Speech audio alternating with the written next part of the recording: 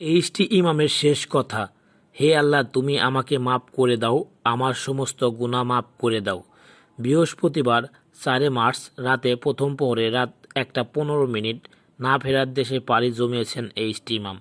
তিনি ছিলেন স্বাধীন বাংলাদেশের প্রথম মন্ত্রিপরিষদ সচিব ও প্রধানমন্ত্রীর রাজনৈতিক উপদেষ্টা।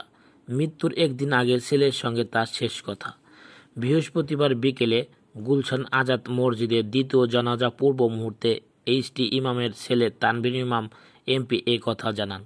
তিনি বলেন, দুই তারিখ মঙ্গলবার রাতে বাবার সঙ্গে শেষ কথা হয়। এরপর আর তার বাক শক্তি ছিল না। তিনি বলেন, দুই তারিখ রাতে বাবা কালেমা আয়াতুল কুরাশি পড়েছেন। আমাকেও পড়তে বলেছেন। তার গলার কণ্ঠস্বর নিচু হয়ে গিয়েছিল।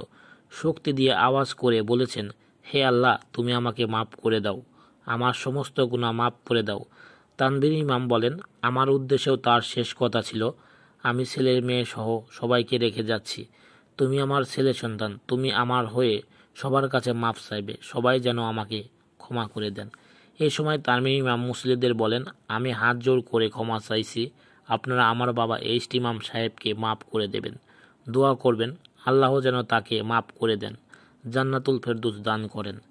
তানভীর ইমাম বলেন এইচটি ইমাম শেষ দিন পর্যন্ত প্রধানমন্ত্রীর রাজনৈতিক উপদেষ্টা ছিলেন, মুক্তিযুদ্ধের চেতনা ধারণ করতেন, লালন করতেন, আমাদেরও সেভাবে চলতে পরামর্শ দিতেন। প্রধানমন্ত্রীর কাছে আমরা কৃতজ্ঞ। তিনি দীর্ঘ বারো বছর আমার বাবাকে মন্ত্রীর মর্যাদায় উপদেষ্টা হিসেবে রেখেছেন, একসঙ্গে কাজ করার সুযোগ দিয়েছেন।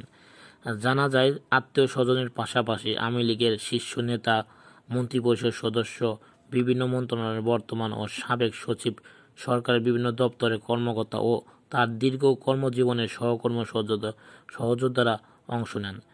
কিডনি জটিলতায় প্রায় দুই সপ্তাহ ধরে ঢাকার সম্মানিত সামরিক হাসপাতালে চিকিৎসাধীন অবস্থায় চৌঠা মার্চ রাত একটা পনেরো মিনিটে মারা যান এইচটি মাম বৃহস্পতিবার সকালে মরদেহ হেলিকপ্টারে যোগে জন্মস্থান সিরাজগঞ্জের উল্লাপনায় নেওয়া হয়। সেখানে আকবর আলী সরকারি কলেজ মাঠে এইচটি মামের প্রথম জানাজা হয়। পরে হেলিকপ্টার যোগে মরদেহ ঢাকার আনা হয়। দুপুর থেকে বিকাল পর্যন্ত এসটি মামের মরদেহ কেন্দ্রীয় শহীদ মিনারে জাতির শ্রদ্ধা নিবেদনের জন্য রাখা হয়। সেখানে রাষ্ট্রপতি মোহাম্মদ আব্দুল হামিদ, প্রধানমন্ত্রী শেখ হাসিনা ও তার দল আওয়ামী লীগের পক্ষে শ্রদ্ধা নিবেদন করা হয়। এরপর সরকারি বেসরকারি ব্যক্তি ও প্রতিষ্ঠান এবং সর্ব জনগণ শ্রদ্ধা নিবেদন করেন। বাদ আসর গুলশানের আজাদি মসজিদে মহরুমের দ্বিতীয় জানাজা নামাজ অনুষ্ঠিত হয়। এরপর তার মরদেহ বনানী কবরস্থানে নেওয়া হয়। সেখানে ঢাকা জেলা প্রশাসনের পক্ষ থেকে এই বীর মুক্তিযোদ্ধার প্রতি রাষ্ট্রীয় সম্মান জানানো হবে। পরে বন্যাতেই চিরনিদায় শায়িত হবেন এই ইমাম